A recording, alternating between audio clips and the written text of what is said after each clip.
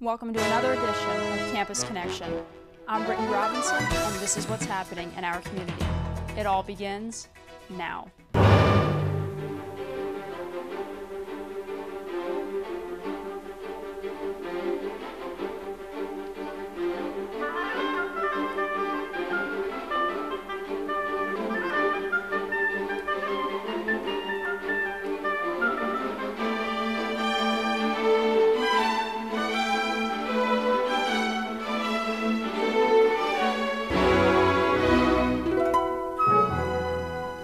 Look at what's happening around our area, here's Dylan Huffman with this week's County Wrap Up. This past week at the Rutherford County Commissioners meeting, the Golden Spike Award was given to Jerry Stensland for his work with the Thermal Belt Rail Trail. The award is handed out only once a year by the North Carolina Rails to Trails. There was also discussion of a new EMS center in the southeastern part of the county. The proposal also includes a satellite branch of the county library. In Spindale, a ribbon cutting ceremony happened to mark the official opening of the weather station on the ICC campus. Also, Isothermal Community College Board of Trustees approved the $27 million budget for the college. The budget for the 2014 2015 fiscal year is down approximately 3% from last year. In Rutherfordton, the town is fixing the sidewalk adjacent to St. Francis Episcopal Church to be ADA compliant. There was also a request made to mount a Wi Fi antenna on the roof of the Woodrow Jones building. The equipment and installation would be provided by Facebook and Pangea as a part of the project to provide internet street level service to all of Rutherford County. Well, that's a quick wrap up of what your local elected officials are working on around the county. For Campus Connection, I'm Dylan Huffman. The Grahamtown Family Reunion was held August 30th at Hardin Road Park. Our very own Charles Harrison was there for the fun, food, and family fellowship. Welcome to the Grahamtown reunion. I'm Charles Harrison. Let's walk around and see what's going on.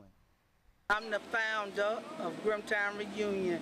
My brother and I uh, came together. The Lord had put a vision in my heart, and he works for the town of Forest City, so he come out and do the physical part, and I go out and get sponsors to donate food for those who can't set up tent and their own food. Everybody go out being fed and being blessed. So we set up food uh, where sponsors have donated monetary money. I have dance teams, uh, diversity, uh, different churches, Dream Weaver sometime come out, different uh, uh, organization come out and it's uh, voting time. So I got different people come out and uh, speak about voting and even different young guys speak to the young uh, people to encourage them. We have games, inflatable games and dancing contests and just different kind of activities to get the kids involved because that's my main purpose, pointing towards the young generation, let them know they should be proud of where they come out from. What's your favorite um, part about the Grahamtown reunion? Oh, it's the food. It's the food. Like it's no competition. It's the food.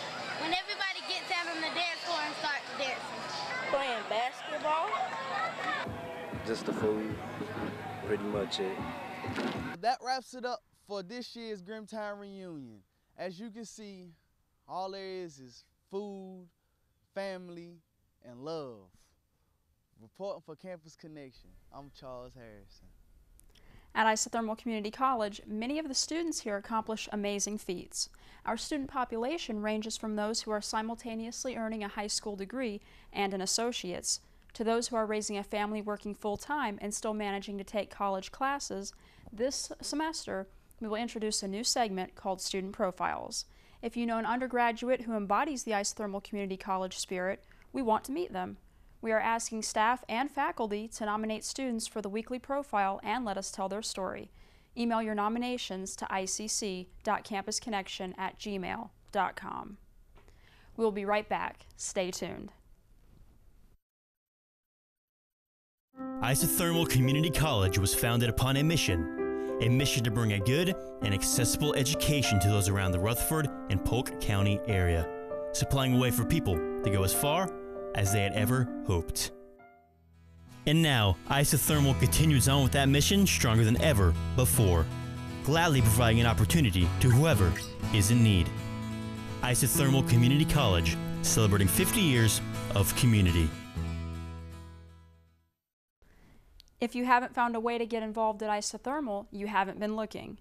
As Charles Harrison reports, there's something for everyone at ICC. Hi, I'm Charles Harrison, and here's what's going on around campus this week.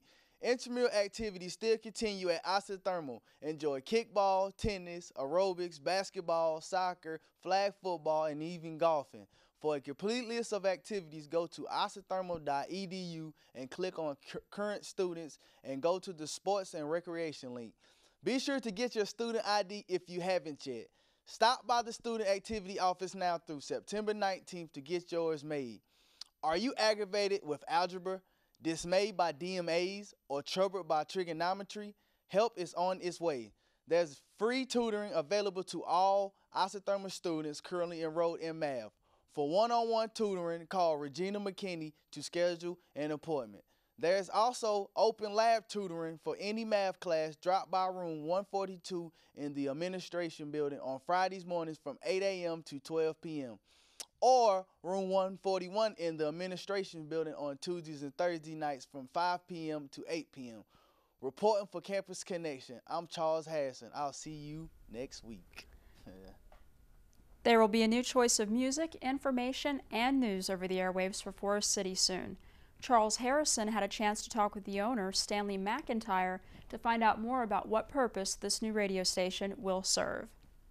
The idea for the Community Empowerment Project applying for an FCC license for a radio station is to have a community radio station that offers current factual information to the residents of the Grahamtown community and surrounding areas. It's to have information that is definitely pertinent to our communities as a whole. We are in the first month of the fall semester now, and the memories of summer are fading away fast, so we sent our cameras out to talk to some students about what they did over their summer break. I went to Dollywood several times this summer because we got a season pass, and that was the first time I ever did anything like that, so that was a lot of fun. I was in a Broadway musical uh, called The Sound of Music. Uh, it was actually over here at the foundation. I worked as a cashier at The Big Deal. I worked at Ryan's as a cashier. I went to the beach twice and also worked all summer long. What I did over the summer, I went to um, Pigeon Forge to spend time with my family and friends. And then after we came back from Pigeon Forge, we went straight to Virginia Beach and had a great time down there. Well, I went to Carowinds once, and um, the rest of the summer I kind of just chilled and went to Crestview and played basketball. But it was a good summer. I visited family like in Florida along with I skateboarded around town. The weather has been on a bit of a roller coaster lately with hot and humid one day and cool and rainy the next. Let's find out what will be happening with the five-day forecast. Here's Jamie with the weather. Thanks, Brittany. Now here's a look at the weather from the Associated Press. Looks like there's not going to be much sun coming out this week. Wednesday night, we have a chance of thunderstorms, and that continues on throughout the day on Thursday with our greatest chance of rain coming in the afternoon. Now, of course, the high on Wednesday will be 79, reaching down to 55 the, as the low. And on Thursday, it's going to jump all the way down to 73 as the high, but 59 will be the low for the day. Now, towards the end of the week, the chances of rain decrease. Be careful on the Friday morning drive home or to work there will be a chance of some heavy fog. There's also a chance of fog throughout the evening on Friday. Now the high on Friday will be mostly or will be 72 with it being mostly cloudy and the low of course is 54. Saturday the winds increase but the chance of rain decreases and will continue to decrease all the way up until Sunday. Saturday it'll be partly cloudy with 75 as the high and 55 as the low. And Sunday it'll again be mostly cloudy but like I said there's not a very high chance of rain for the week for the rest. It'll also jump up to 79 and thank you for listening. Well, football season is in full force. Ryan Pilgrim and Charles Harrison went to the local high school football games. Here are some highlights from week four. The Cavaliers got into their second loss in the season, getting beat 21 14 by Kings Mountain. East Rutherford will be on the road next Friday, taking on East Burke. Jefferson had a bye week, so now the Griffins are rested and ready for Asheville School Friday night. Chase took on Burns, but was delayed due to the thunderstorms in the area Friday night. They finished Monday with Burns coming out on top. Despite the monsoon, Central couldn't fight back Monday night, losing to Shelby 35 20. The Hilltoppers are at 2 2 this season and are ready to make a playoff run. Earlier this month, Isothermal Community College students turned out for the IC3 Connect gathering.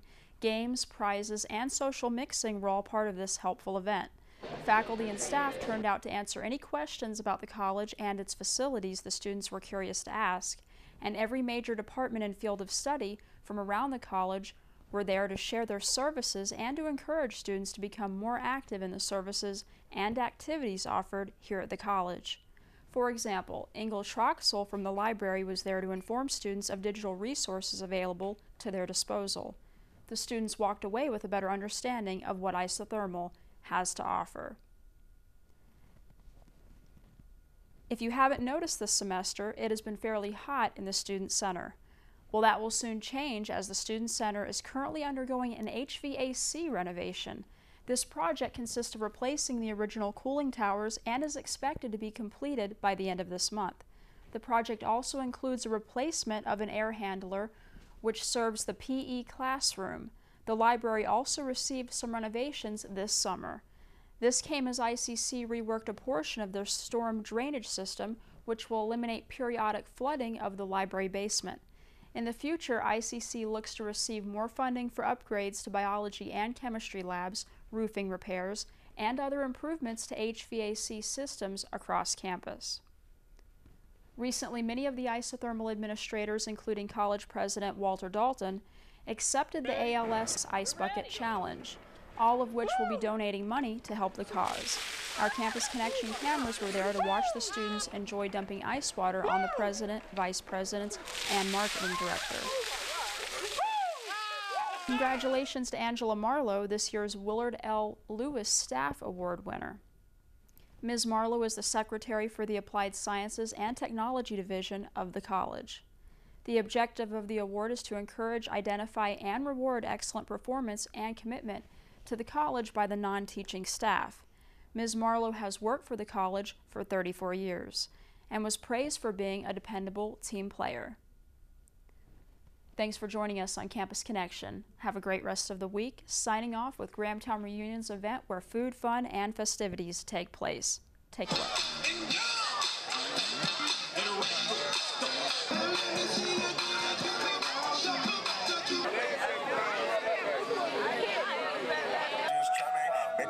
Shaking from the club back to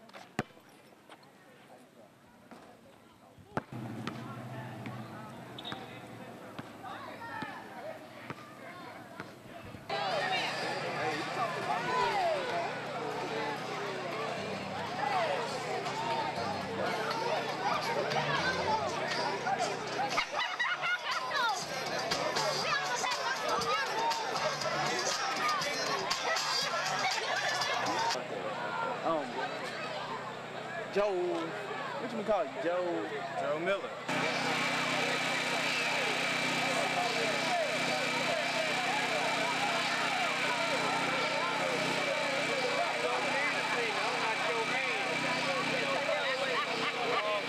Oh, um, Tootie, could you tell um people what's your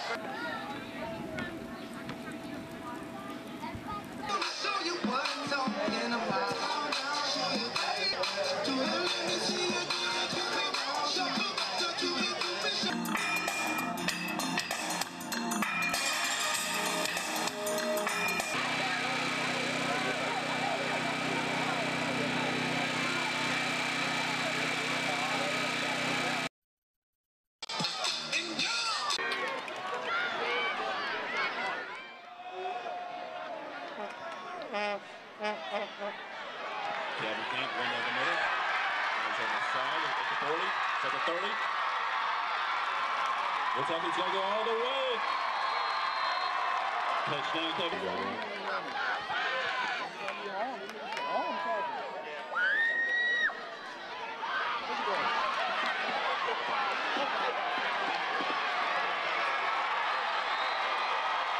Quarterback Bell.